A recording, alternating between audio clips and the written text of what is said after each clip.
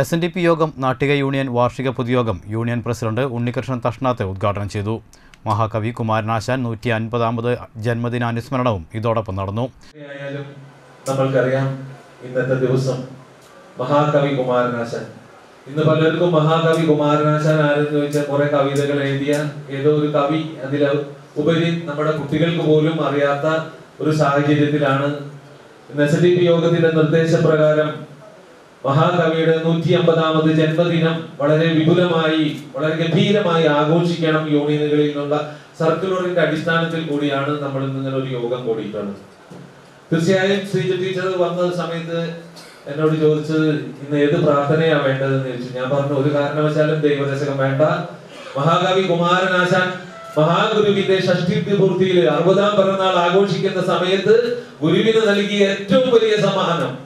അതാണ് ആരായുകിൽ അന്തത്വമൊഴിച്ച് ആദിമഹസ്യൻ നേരാം വഴി കാട്ടും ഗുരുവല്ലോ പരദൈവം. അതിലും വലിയൊരു ദൈവം ഞങ്ങൾക്കില്ല എന്ന് എഴുതി സമർപ്പിച്ച ആ പ്രാർത്ഥന.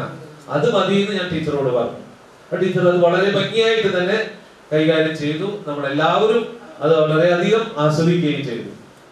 എന്തായാലും എസ് എൻ ഡി പി യോഗം ജനറൽ സെക്രട്ടറി എന്ന നിലയിലും കവി എന്ന നിലയിലും സാമൂഹിക നവോത്ഥാന നായകൻ എന്ന നിലയിലും കേരളത്തിൽ വരുത്തിയ മാറ്റങ്ങളെക്കുറിച്ച് അനുസ്മരണ പ്രഭാഷണത്തിൽ ഉണ്ണികൃഷ്ണൻ തഷ്ണാത്ത് വിശദമാക്കി.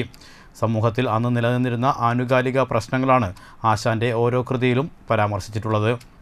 Union vice president P V Sudeep Kumar അധ്യക്ഷനായി സെക്രട്ടറി മോഹനൻ കണ്ണമ്പുള്ളി നരേന്ദ്രൻ തയ്യിൽ വനിതാ സംഘം പ്രസിഡന്റ് ബിന്ദു മനോജ് സെക്രട്ടറി ശ്രീജ മൗസ്മി എന്നിവർ പ്രസംഗിച്ചു.